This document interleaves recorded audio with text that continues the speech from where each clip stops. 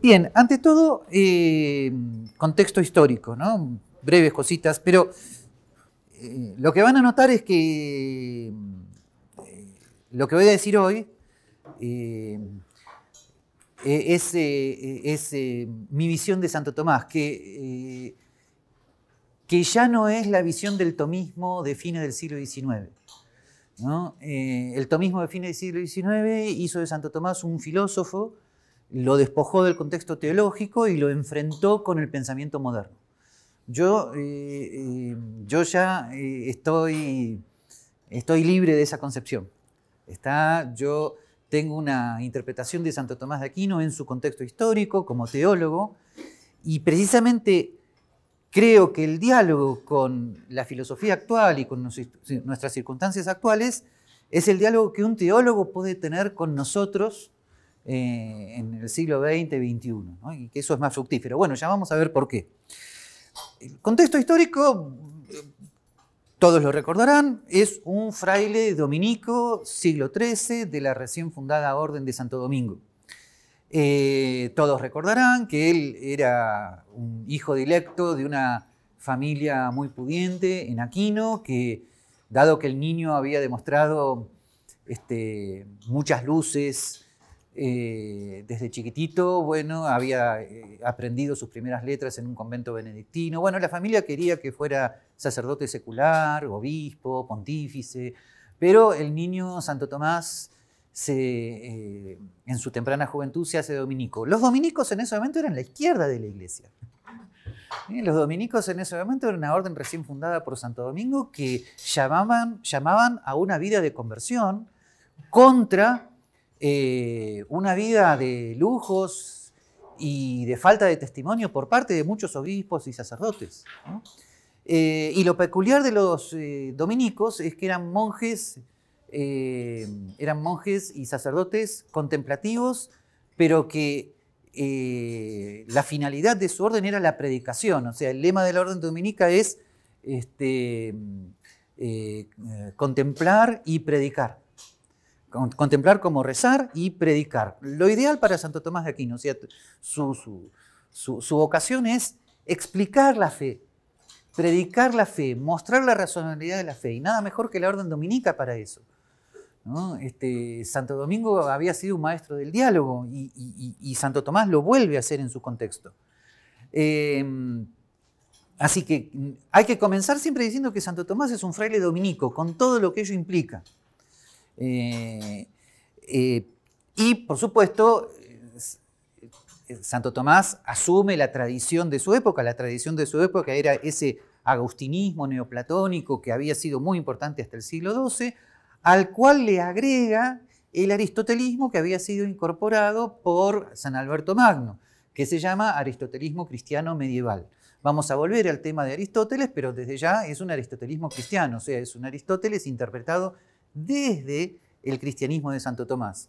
Eh, recuerden que eh, Aristóteles, eh, el Aristóteles en griego en ese momento se había perdido mucho, había traducciones al árabe, al persa, pero un maestro de la, un compañero de la orden, Guillermo de Moerbeque, traduce de vuelta todos los comentarios, porque no tenía nada que hacer, ¿no? Traduce de vuelta todos los comentarios, perdón, todas las obras de, de, Aristóteles directamente al griego. Detalle, Santo Tomás eh, perdón, directamente al latín, discúlpenme, del griego al latín. Por lo tanto, desde el punto de vista hermenéutico, Aristóteles pasa por la mente cristiana de un fraile dominico que lo vierte al latín cristiano. Y ese es el, Aristóteles que lee Santo Tomás, porque Santo Tomás no leía griego. Así que él lee la traducción de Guillermo de Moerbeque. Y a esas traducciones, Santo Tomás le hace los comentarios. ¿eh? El comentario de Santo Tomás a la obra tal es Aristóteles traducido por Guillermo de Moerbeque. Eh, habrán visto en los que les mandé que los comentarios de Santo Tomás de Aquino a la obra de Aristóteles para cualquiera de nosotros no nos hubiera alcanzado una vida y sin embargo para Santo Tomás fueron además una de las tantas cosas que escribió, nadie sabe cómo, en 30 años. Su, vida de producción escrita son 30 años, de los 20 a los 50. Eh, ¿Qué pasó a los 50? Se murió, listo, así de simple. Bueno, eh, él llamaba a lo que estaba haciendo la sacra doctrina, contrariamente a lo que eh, a veces nos explica el tomismo de fines del siglo XIX, Santo Tomás no era lo que hoy llamamos un filósofo, ni él se consideraba filósofo, él se consideraba teólogo, maestro de teología, y lo que él hacía, él, él lo llamaba sacra doctrina. O sea, una apologética de la fe, una defensa de la fe sobre la base de la filosofía griega interpretada por él mismo. O sea, sobre la base de Platón, Aristóteles, eh, los padres de la iglesia, Averroes, Maimónides, todo reinterpretado por él, todos como instrumentos de defensa racional de la fe. Explicar que los dogmas no son contradictorios, em, explicar la razonabilidad del Evangelio. Eh, y para, eh, cuando él, él, hablaba de Aristóteles, lo llamaba el filósofo. O sea, la filosofía para Santo Tomás era la filosofía de Aristóteles. Él no consideraba que estaba haciendo filosofía, él estaba haciendo teología. Pero como él estaba haciendo teología apologética, que en realidad casi es lo mismo, cuando él hacía apologética racional de la fe, utilizaba la filosofía de Aristóteles y entonces de esa utilización surge lo que hoy llamamos contemporáneamente la filosofía de Santo Tomás, pero nunca hay que, eh, nunca hay que descontextualizarla del horizonte del pensamiento cristiano de eh, Santo Tomás de Aquino. Eh, hay algunos tomistas que, que intentan descontextualizarlo porque, porque como el mundo del siglo XX es no creyente, entonces ellos intentan presentar un filósofo que no sea teólogo, pero creo que eso dialógicamente, aparte de que es falso históricamente, dialógicamente no sirve, porque desde el punto de vista del diálogo lo que hay que hacer es decir, ¿qué nos puede decir Santo Tomás teólogo a nosotros hoy? Ese debe ser el planteo. ¿Qué nos puede decir Santo Tomás teólogo a nosotros hoy? Y como Santo Tomás dialogaba con la razón, o sea, como Santo Tomás había asumido la filosofía griega, pues entonces ningún problema. Y esto tiene que ver con el tema de la armonía razón-fe. ¿Qué quiere decir asumir la filosofía griega? Quiere decir que la, la fe cristiana de Santo Tomás va hacia la filosofía griega de Platón y de Aristóteles, pero no es que la falsea, no es que hace lo que Humberto Eco llamaría una decodificación aberrante. No es que Aristóteles dice una cosa y Santo Tomás dice otra diciendo que le dice Aristóteles. Lo que hace es reinterpretar lo que dice Aristóteles desde el dogma cristiano de la creación, desde el dogma cristiano del Dios creador, Santo Tomás reinterpreta lo que dice Aristóteles y también Platón, y esa interpretación es la que sube de vuelta a la mente de Santo Tomás y es lo que Santo Tomás escribe. ¿Ok? Por lo demás, es lo que hacemos siempre. Por ejemplo, cuando yo hablo de Fomises, hablo desde Merizonte. Lo que ocurre es que como hoy conocemos un poquito más de hermenéutica, vieron que yo muchas veces digo, lo que yo pienso que Mises dice es tal cosa. Este, otro puede decir otra cosa. En ese momento la hermenéutica en ese sentido no estaba muy cultivada, entonces eh, eh, entonces existía la costumbre de que, de que muchos teólogos y padres de la iglesia dijeran, tal autor dice tal cosa. Bueno, en realidad está diciendo lo que ellos interpretan que dice. ¿Está?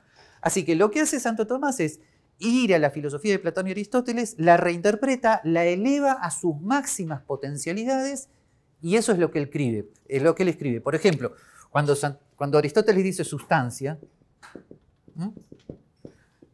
Está diciendo, en realidad, ¿qué está diciendo? Sustancia primera son los seres vivos. Eh, un elefante es sustancia primera, que tiene una esencia, que es la elefanteidad, etcétera, etcétera. Bueno, muy bien. Ahora, este, Santo Tomás inmediatamente distingue. Sustancia es en sí, accidente es en otro. Eh, ¿Dios es sustancia? No, porque para ser sustancia tiene que ser finito, limitado, pero es, pero no es accidente, en ese sentido es subsistente. Ah, bueno, entonces Dios es subsistente. Bueno, lo que acabo de decir en poco tiempo implica una enorme transformación ¿ven? desde la noción biológica de Aristóteles de sustancia a la noción de subsistente utilizado como atributo divino. Bueno, esos son los saltos hermenéuticos que hace Santo Tomás de Aquino. Esos son las conversiones del pensamiento de Aristóteles que hace Santo Tomás de Aquino.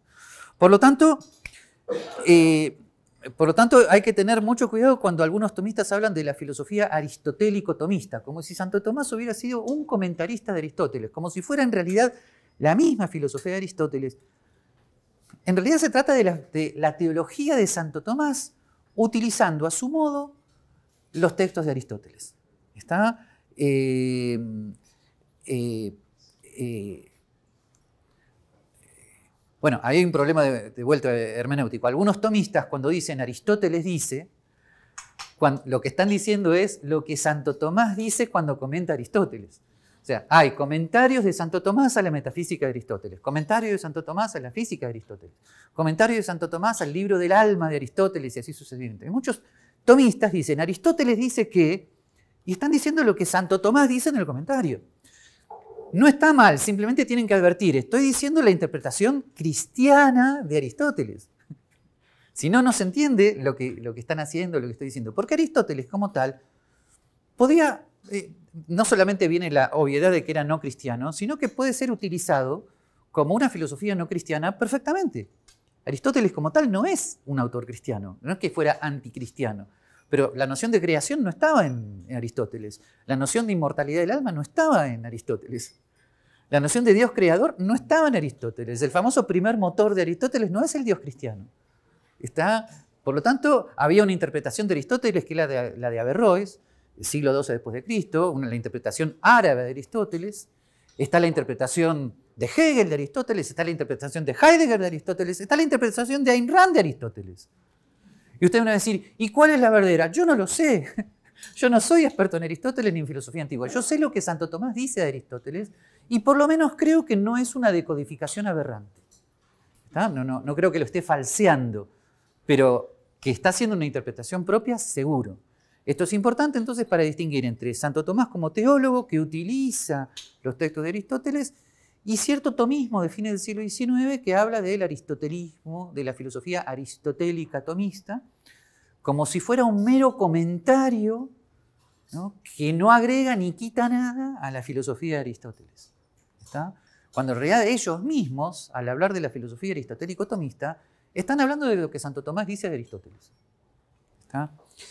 Eh, otro punto importante de este Santo Tomás no es solamente la armonía razón-fe, sino la incorporación del orden natural de las cosas. Esto es típicamente de, Santo Tomás de Aquino.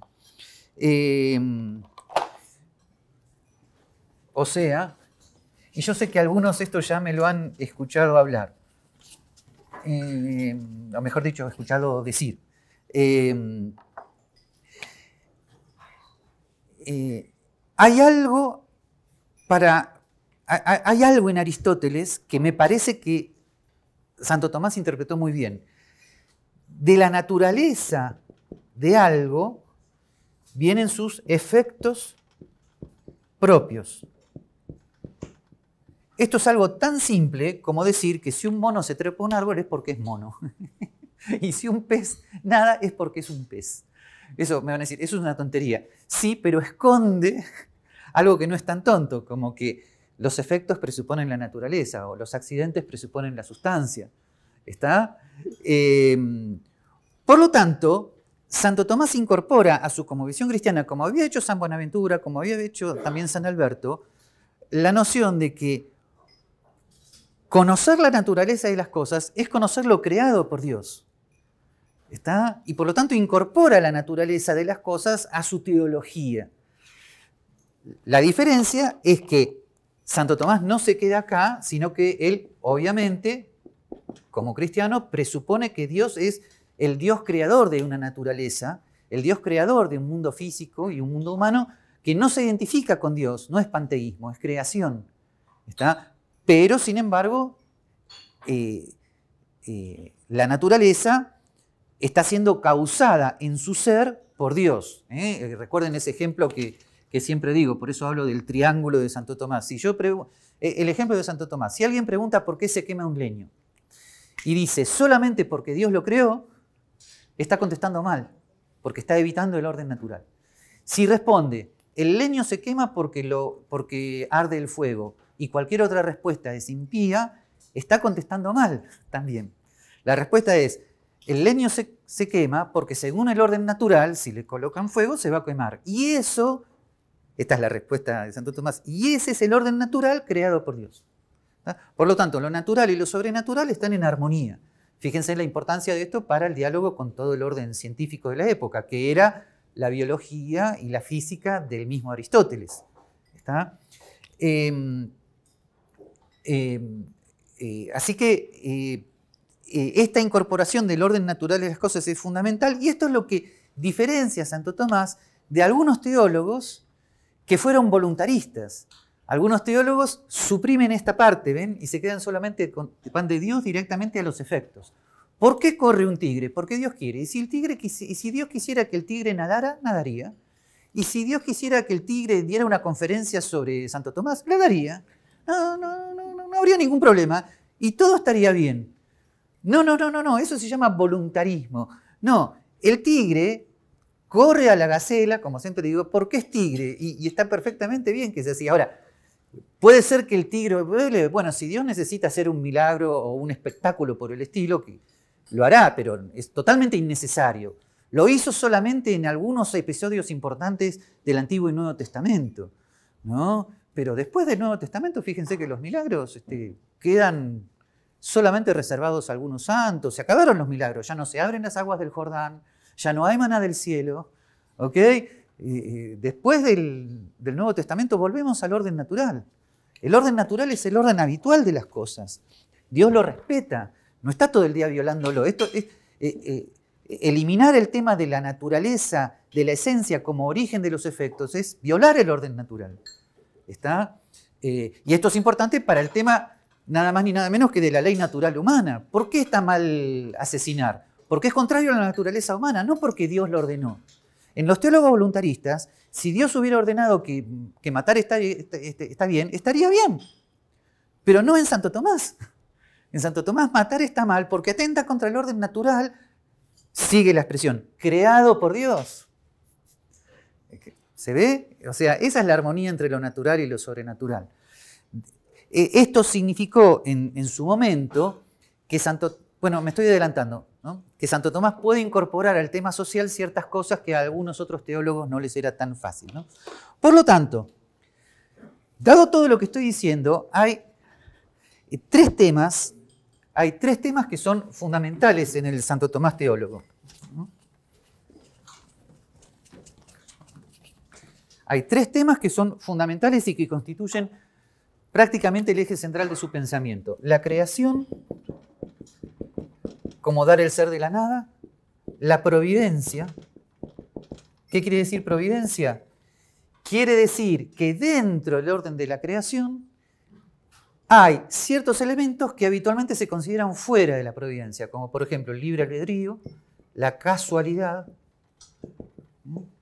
el mal, está eh, la contingencia, Estos cuatro elementos que habitualmente se consideran fuera del orden de la providencia o contrarios a la existencia de Dios, en Santo Tomás están dentro de la providencia divina. Es una de sus contribuciones teológicas y filosóficas más importantes. Y luego su noción de ser humano como eh, ser racional creado imagen y semejanza de Dios. Por lo tanto, tiene dos características esenciales que son, o tres, inteligencia, voluntad y corporalidad. Pero no es solamente una concepción eh, recreada de Aristóteles, es además una concepción teológica, porque este ser humano está herido por el pecado original. Entonces, su inteligencia y voluntad funcionan, pero funcionan con cierta herida, con cierta dificultad. Pero su naturaleza como ser humano permanece. ¿Está? Bien, eh, esta concepción del, eh, del ser humano es eh, fundamental por muchos temas, sobre todo por el tema de la ley natural. ¿Está? Eh, ¿Por qué? Porque entonces Santo Tomás puede hablar propiamente de una ley natural, o sea, de un conjunto de preceptos que corresponden a la naturaleza humana, que, atención, si bien hay pecado original, sin embargo esos preceptos corresponden a la naturaleza humana, son difíciles de cumplir, sin la gracia de Dios, pero son preceptos que corresponden a la naturaleza humana. ¿Eh? Por lo tanto, Santo Tomás está en condiciones de hablar de una ley natural para todos los seres humanos. Bueno, esto tiene, por supuesto, implicaciones sociales muy importantes, como vamos a ver ahora. Dado todo lo que estamos diciendo, ¿cuál es el legado de Santo Tomás? O sea, este teólogo del siglo XIII que habla de todo esto, ¿qué nos deja a nosotros hoy? ¿Qué nos deja a todos los seres humanos para que podamos eh, eh, dialogar con él? Primero, la distinción entre lo natural y lo sobrenatural.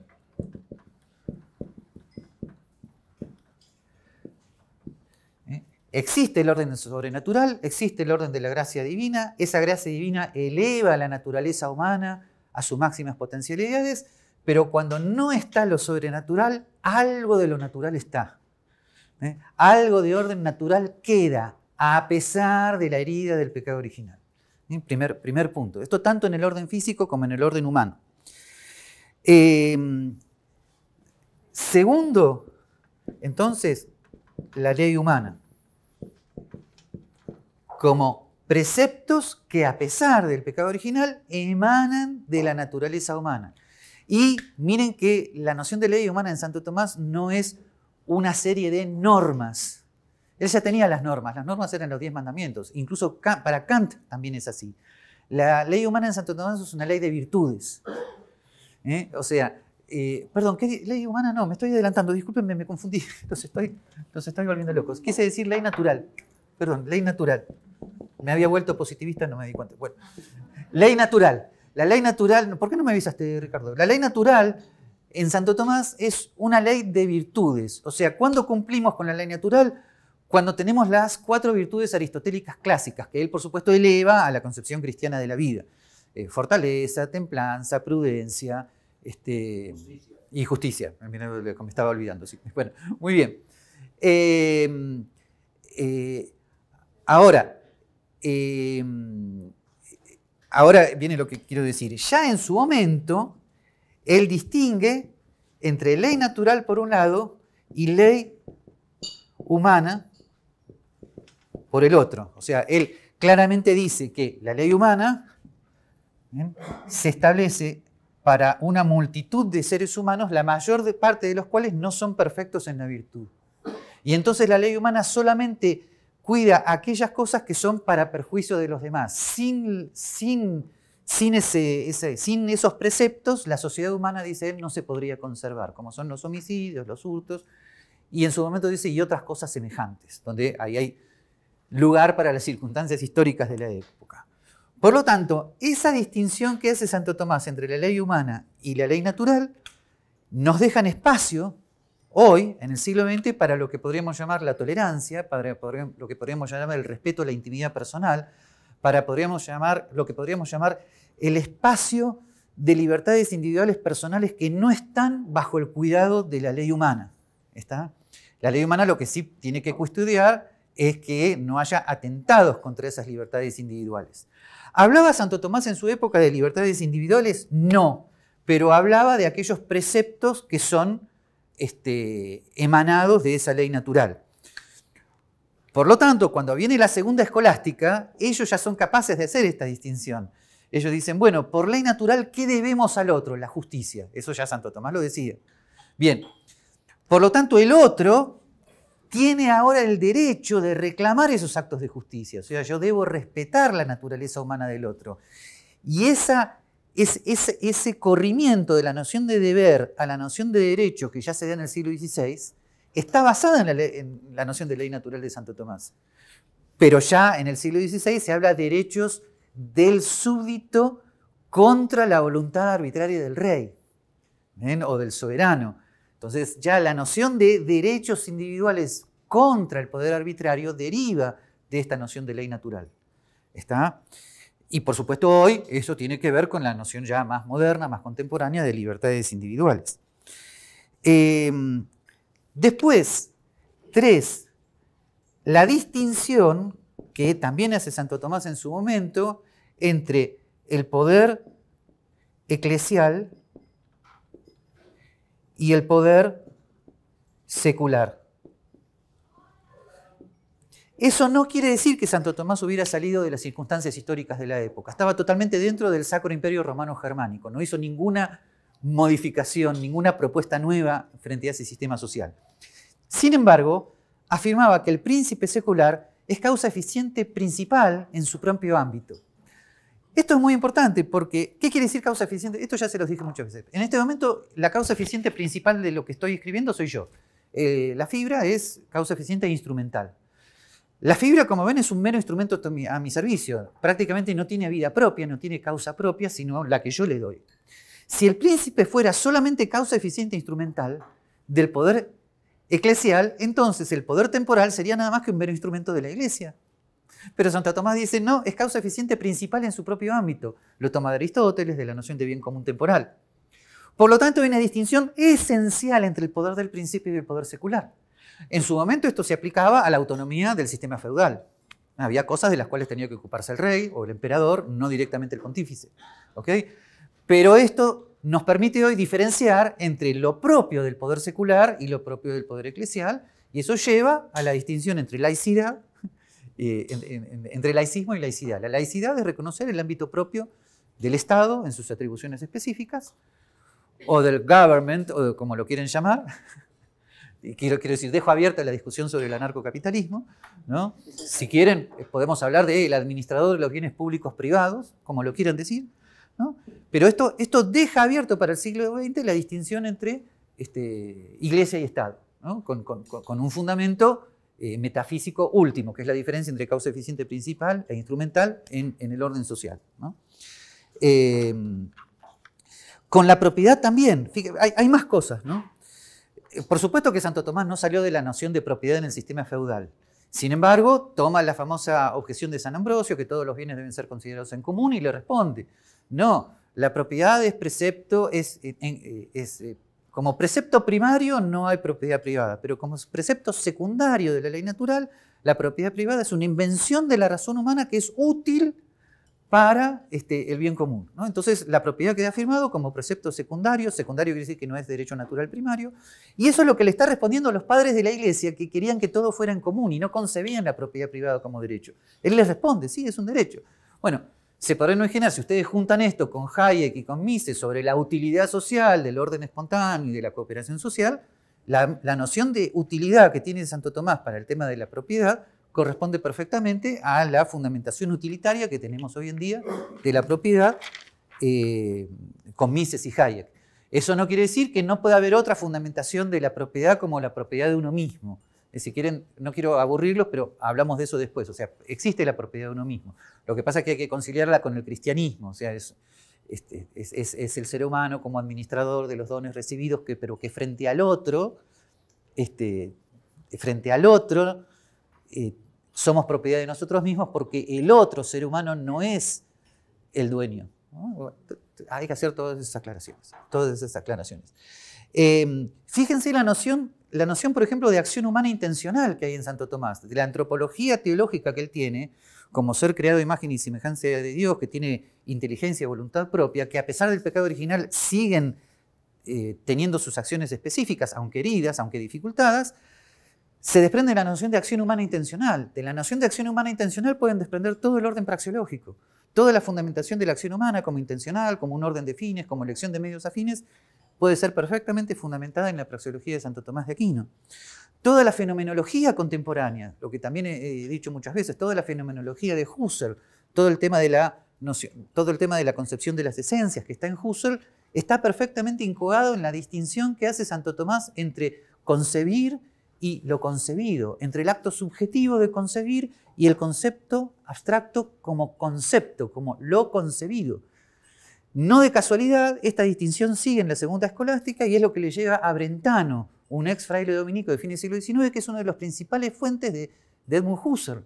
Por lo tanto, la unión entre la fenomenología de Husserl, que es clave para toda la filosofía contemporánea, y, y Santo Tomás de Aquino, se puede hacer perfectamente.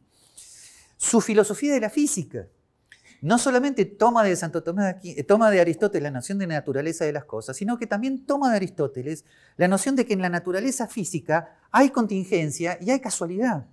Y eso lo compatibiliza con la providencia divina. Por lo tanto, todas las teorías actuales del indeterminismo físico, como se dan en Karl Popper, toda la filosofía en la cual Karl Popper habla de indeterminismo, de física cuántica, es perfectamente compatible con la filosofía de la física de Santo Tomás de Aquino.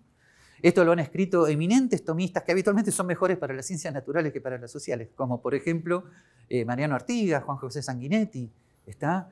Su, su antropología filosófica es fundamental, para, la para, para, todos los debates actuales sobre eh, mente y cerebro, sobre el tema del transhumanismo, sobre el tema de la relación con la máquina, etcétera, etcétera.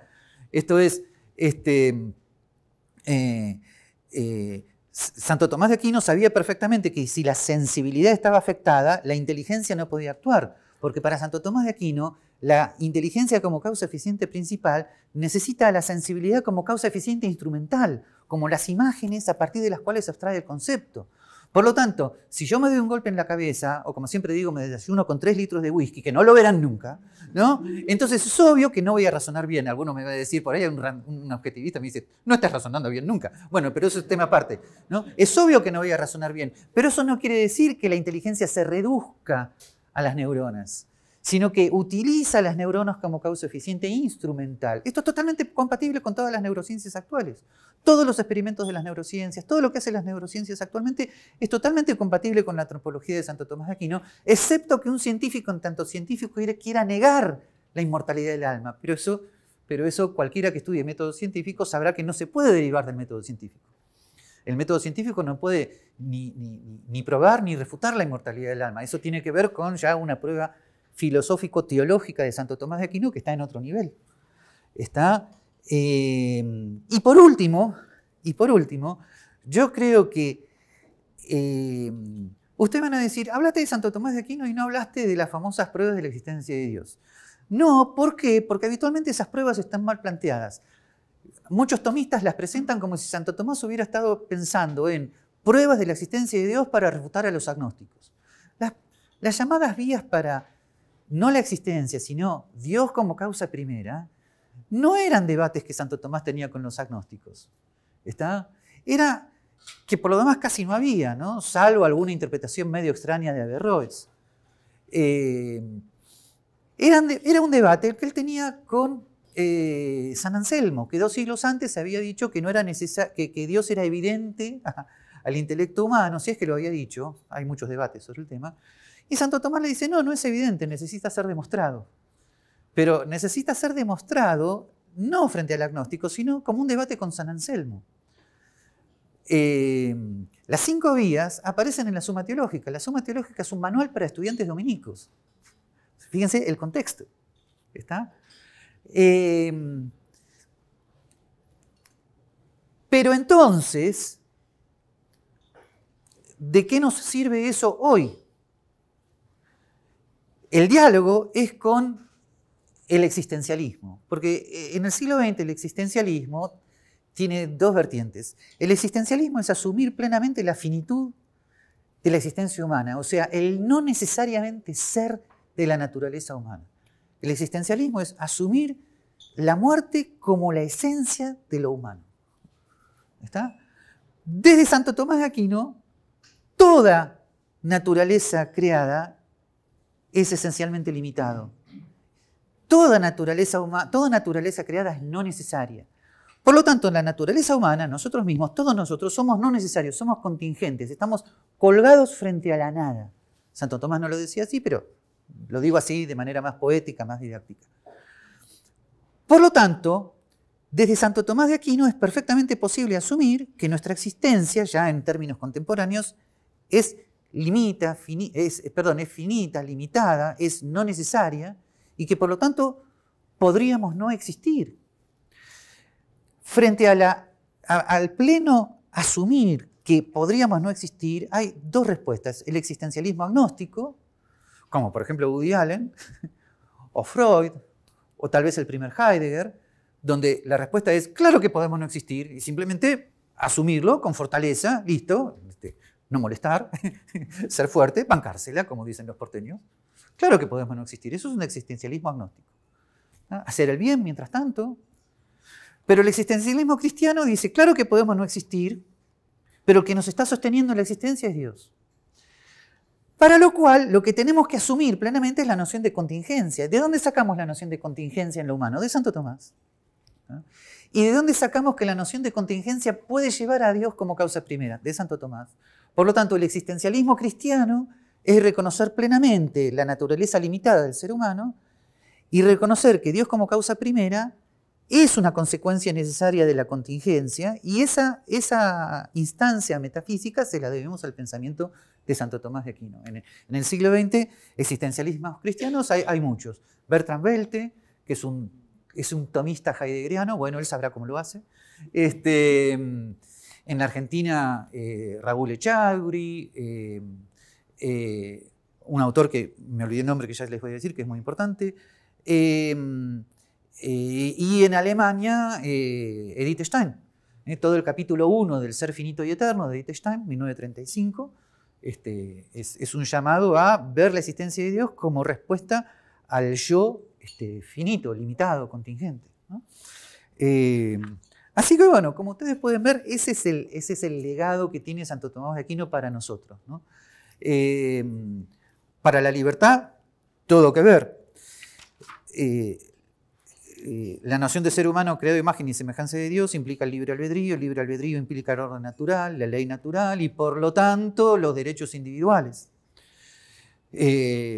La distinción entre poder eclesial y poder secular lleva a la distinción entre iglesia y Estado. Está la distinción entre eh, el orden natural y sobrenatural lleva a la distinción hoy, siglo XX, entre filosofía, física, metafísica. O sea, todo que ver con lo que podríamos llamar una sociedad libre. ¿Está? Que a Santo Tomás obviamente no se le pasó por la cabeza porque él no innovaba desde el punto de vista social. Santo Tomás sigue siendo un clásico porque él tiene todas estas nociones metafísicas que siguen siendo clásicas. Porque todo esto de lo que he hablado él hoy es el núcleo central de su filosofía con el cual podemos dialogar hoy. O sea, sigue siendo un clásico porque es un autor que tiene un núcleo central con el cual podemos seguir dialogando hoy. Por eso es un clásico pero no porque haya dicho directamente cosas que nos hubiera gustado. Yo sé que hay algunos amigos míos que hablan de los fundamentos tomistas, de la teoría subjetiva del valor, de la democracia constitucional. Son cosas indirectas. Por supuesto que Santo Tomás afirmó la teoría del gobierno mixto, este, por supuesto que eso luego pasó a Richard Hooker, que de Richard Hooker pasó a John Locke. Está bien, son todas cosas indirectas. Claro que tiene una partecita de un comentario al libro, a la ética nicómaca de Aristóteles, donde parece reconocer que las cosas valen por su necesidad, pero no por su naturaleza física, pero luego en la suma teológica dice que no es lícito vender algo por más de lo que vale y vayan a interpretarlo. O, sea, no busquen directamente en Santo Tomás esas cosas. Lo que pueden encontrar son núcleos centrales de pensamiento que nos sirven para eh, dialogar hoy.